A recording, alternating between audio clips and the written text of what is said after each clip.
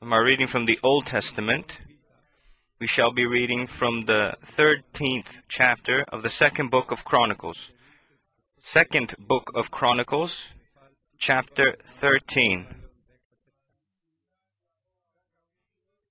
Chapter 13 from the second book of Chronicles.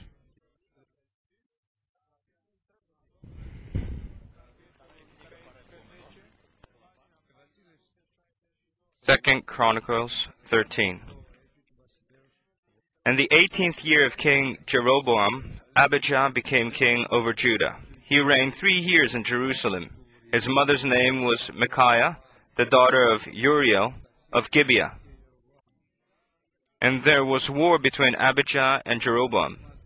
And Abijah set the battle in order with an army of valiant warriors, four hundred thousand choice men. Jeroboam also drew up in battle formation against him with eight hundred thousand choice men, mighty men of valor. Then Abijah stood on Mount Zemaraim, which is in the mountains of Ephraim, and said, Hear me, Jeroboam and all Israel. Should you not know that the Lord God of Israel gave the domination, the dominion over Israel to David forever, to him and his sons, by a covenant of salt? Yet Jeroboam the son of Nebat, the servant of Solomon the son of David, rose up and rebelled against his Lord. Then worthless rogues gathered to him, and strengthened themselves against Rehoboam the son of Solomon, when Rehoboam was young and inexperienced, and could not withstand them. And now you think to withstand the kingdom of the Lord, which is in the hand of the sons of David and you are a great multitude. With you are the golden calves which Jeroboam made for you as gods. Have you not cast out the priests of the Lord, the sons of Aaron, and the Levites, and made for yourselves priests like the peoples of other lands, so that whoever comes to consecrate himself with a young bull and seven rams may be a priest of things that are not gods? But as for us, the Lord is our God, and we have not forsaken him. And the priests who minister to the Lord are the sons of Aaron, and the Levites attend to their duties. And they burn to the Lord every morning and every evening burnt sacrifices and sweet incense.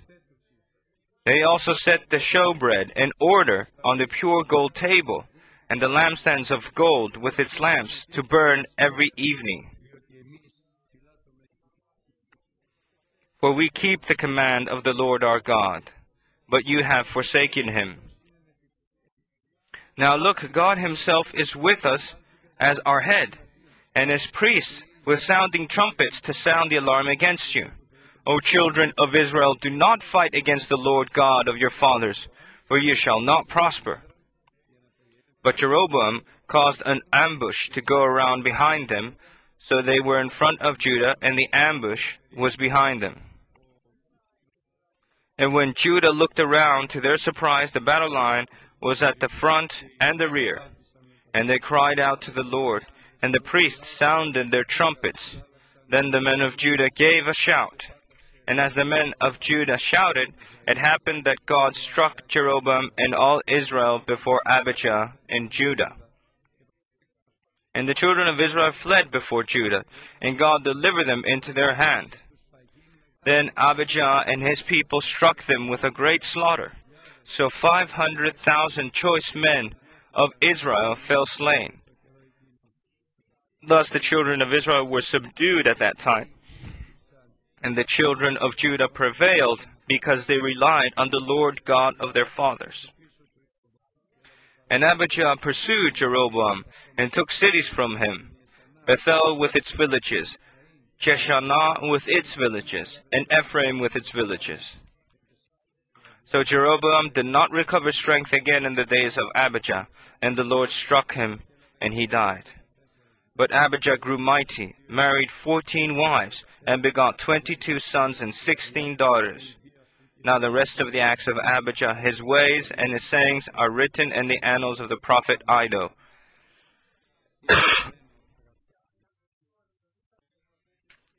It is written, my beloved brethren, and the Bible cannot be broken, that all Scripture is divinely inspired and beneficial and profitable for doctrine, for rebu- rebuke, for reproach, for restoration, so that the people of God may be perfect and equipped, ready for every good work. So it is good that we pay attention to the prophetic word of God, because through the prophetic word we shall receive the things that God wants to give us. And why?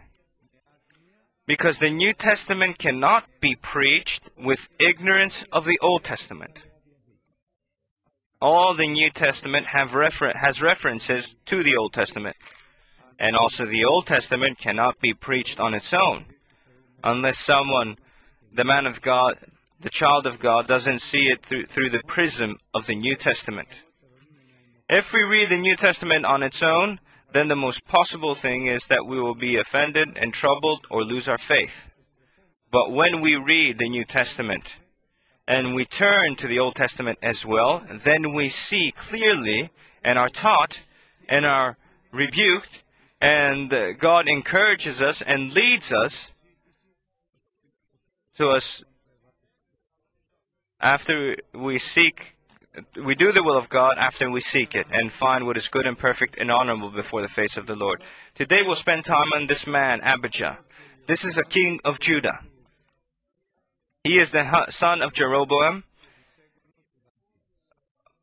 of Jeroboam. He is uh, a, a grandchild, great grandchild of David. He is one of those to whom God promised great blessing, and indeed he promised them the word of God and also the place of his dwelling and glory, that is his sanctuary.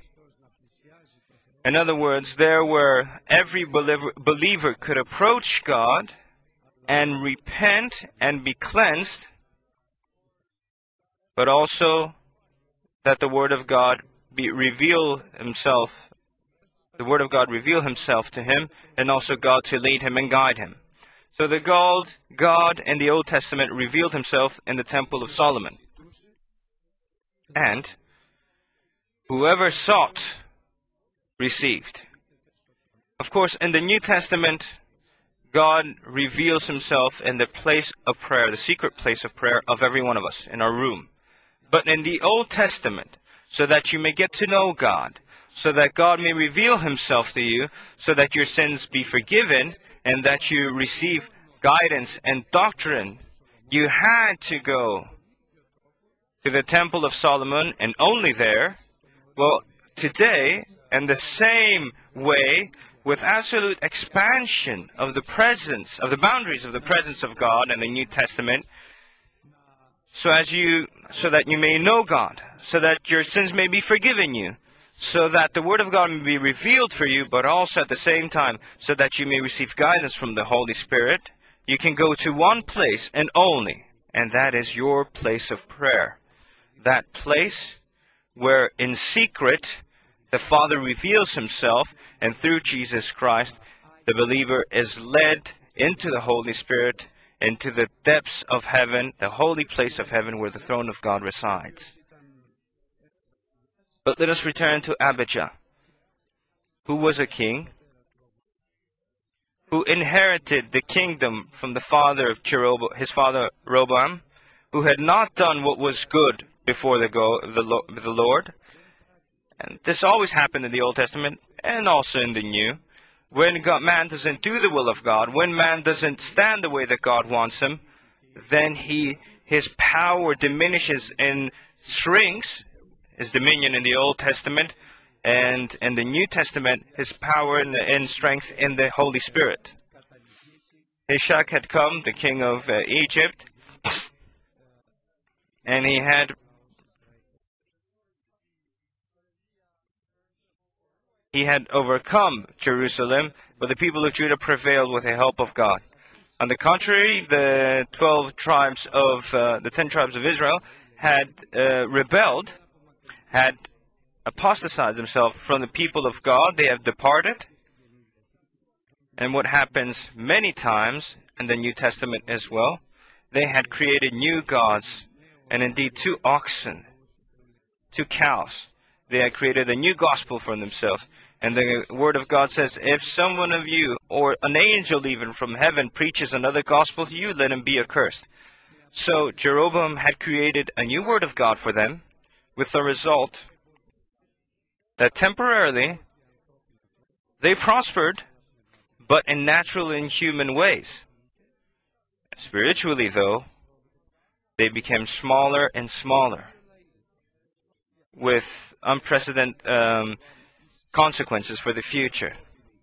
Two kings, two people. One king is Jeroboam with power and authority of man, natural power, natural strength, but he's far from God and without the mercy, without the strength of God in his life and in his people, his dominion. And on the other hand, we see a weak king, Abijah, who had inherited a vanquished people, but which people had something, this man had something that made him different in the eyes of God, and it gave him strength in the presence of the Lord. He had his hope in the Lord. But Jeroboam had his hope in his powers and his successes. And now they uh, find themselves opposing each other. The moment came that they found themselves opposing each other. And furthermore, Jeroboam, with pride, with absolute trust in himself and in his powers, decided that it is the time, since his power increased and grew over the ten tribes of Israel, he had to take dominion over Judah as well. But what characterizes Abijah here and makes him different is that is what Jeroboam says is that he doesn't take what God says into account. The man who doesn't consider or take whatever God says into account, he walks according to the flesh, and he falls apart and is destroyed in his flesh. Even if he has the name that he is a believer. I'll go further. In truth, and a bit further, I'll say, even if he is a believer, when in our relationship, in our thoughts, and in our decisions, in our ambitions and attempts, we forget our place of prayer, our secret place of prayer, and God's opinion for us, then the results will not be good for us, even if there is the assurance in our heart that we will have perfect success.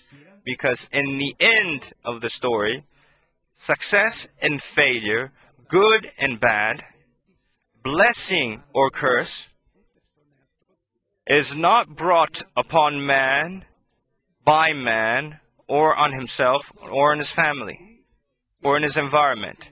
Every good gift and every perfect gift comes from above, from the Father of lights, to whom there is no shade or change.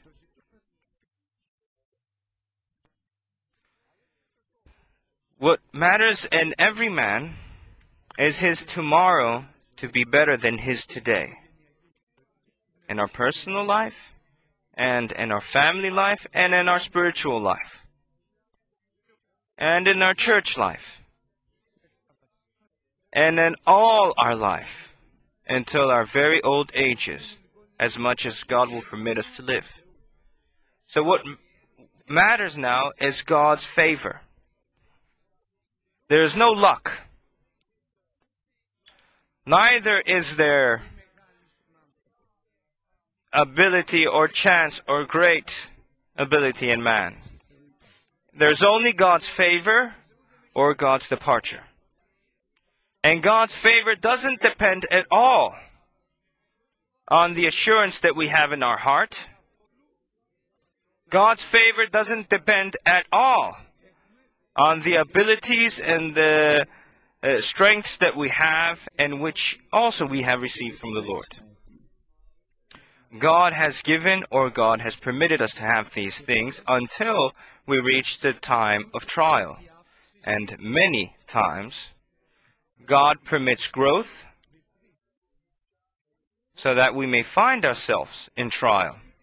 In other words, if Jeroboam, at that period, had an army, And instead of 800,000,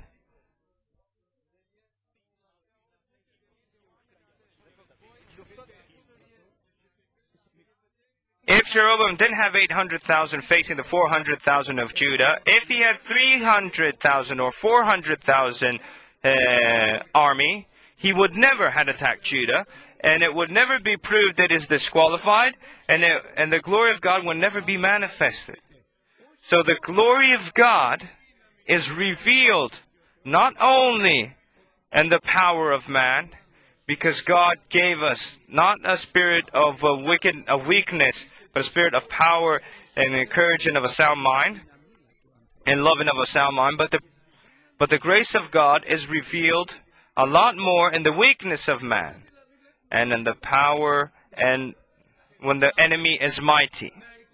So when we see the enemy growing in power and might, we must suspect that since in our small personal power that we have, if we remain steadfast and immovable in this power, hoping in God, then what will follow is that the, the glory of God will be revealed through our human weakness. the Christian doesn't see with the eyes of this world, but he has God's vision through the Word of God, vision of God through the Word of God, and by the Holy Spirit. The Christian doesn't hear with these ears of this world. But he has trained ears within him, which the Lord has placed within him, and he knows the future. He acknowledges the future. He can speculate the future, and and I uh, intentionally do not say the future is prophesied to, to him, because man of God has wisdom, and the beginning of all wisdom is the fear of the Lord. He has wisdom and he can discern what is good and what is bad, what is honorable and vile. And by choosing what is honorable and rejecting what is vile, his hope is safe and secure then, and his hope is that the favor of God will be revealed upon him gloriously in the next days, the next time, the next few the next the following time. The people look at their abilities and their strengths, they measure them, they they sum them up, and then they begin. But the man of God looks at his faith in the Word of God. He examines his hope to see if it's in the Lord and in the Lord alone. His life, if it is in sanctification and cleanness to see whether he is in obedience or not, and then he knows with certainty that the glory of God is going to be revealed a lot greater when his power is small. Here, my dear brethren, I want us to clear something up. A Christian doesn't fear sin, neither sinners. Because for sin, for my sin, and our sin, Christ has already paid. The Christian fears God.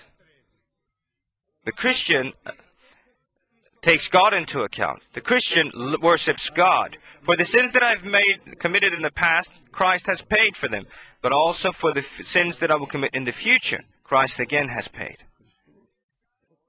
But what applies is the blood of Jesus Christ the Jesus, the blood of Jesus Christ has power and authority when I, with fear of God, I'm ready at all times to repent, to change my ways, to run or to stop, to go forward or to go backwards according to the leading of the Holy Spirit.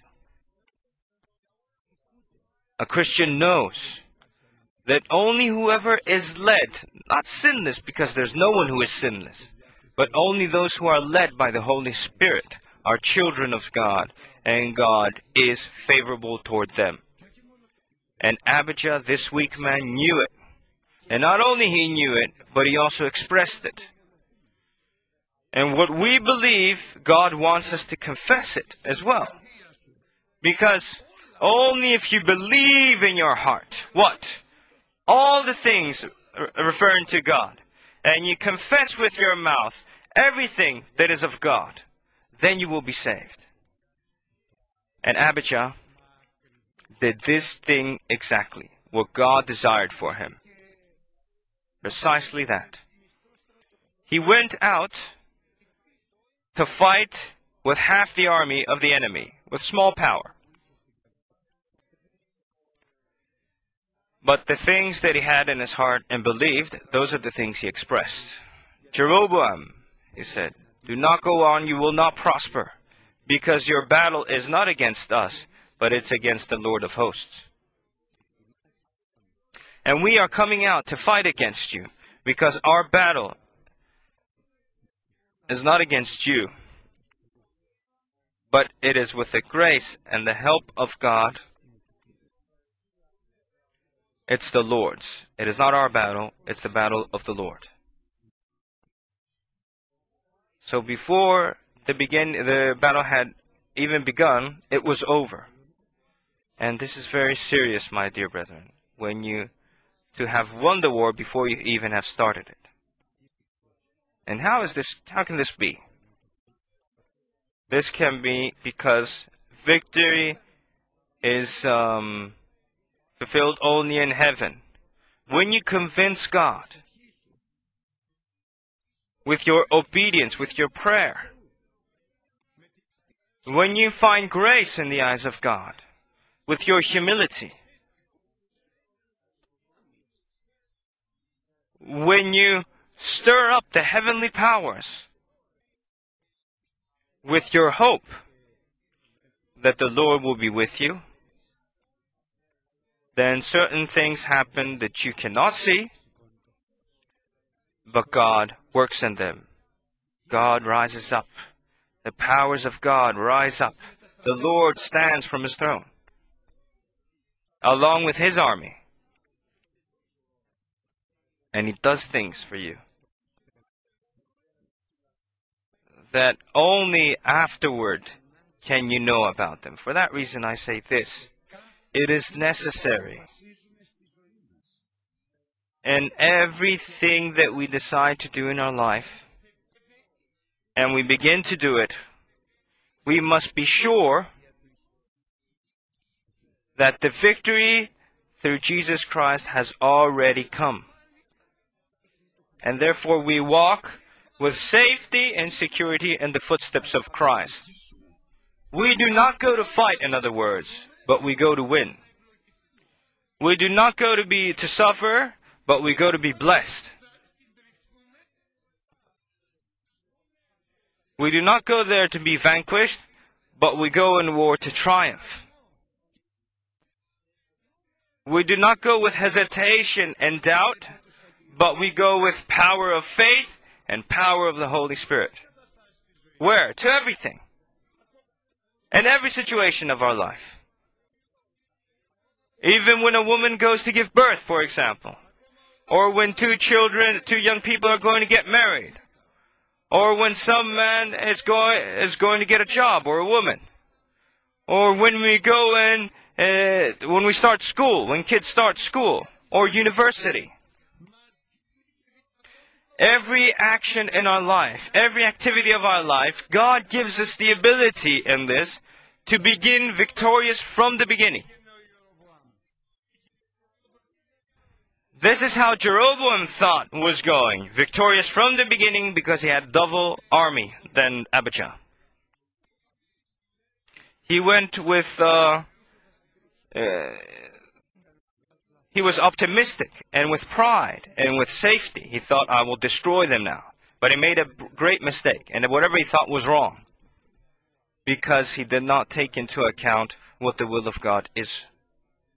But Abijah, what he thought, what he believed, what he confessed,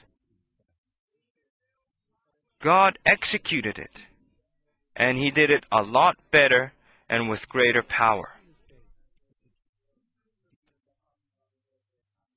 He went out winning to win, and he did win. I repeat, he went out winning and to win, and he did win. Now, um, now think of the message that God wants to give you here, brother. That you have the ability to go out always with the assurance of victory, which is guaranteed not by power nor by strength, but by the Spirit of the Lord of hosts. And this applies when your weakness is great. If furthermore your weakness is perfect, then the power of God will be revealed, complete, glorious, and the end of your matter, and the end of your story. We have evil times ahead of us, difficult times ahead of us. I was reading yesterday. I do not know if it's right or not. There are some predictions that the financial people have made for the United States and generally for the world. And they spoke about a short period of time between two months and 12 months.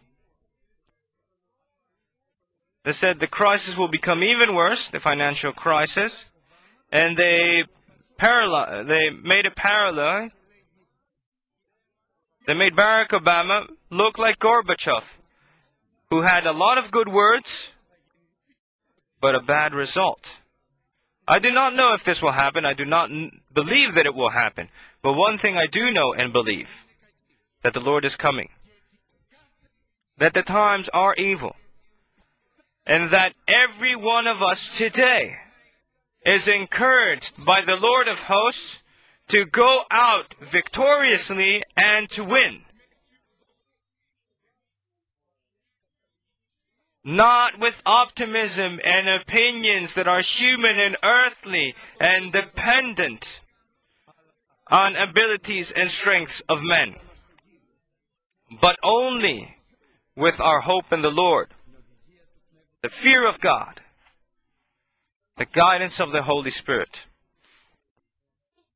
and obedient to the Word of God. Without us ever fearing our mistakes. Without us fearing and becoming disappointed because of our failures and sins. In other words, without us fearing and becoming disappointed for our weaknesses. Because in our weakness, the Lord of hosts will, will reveal himself mighty. Amen.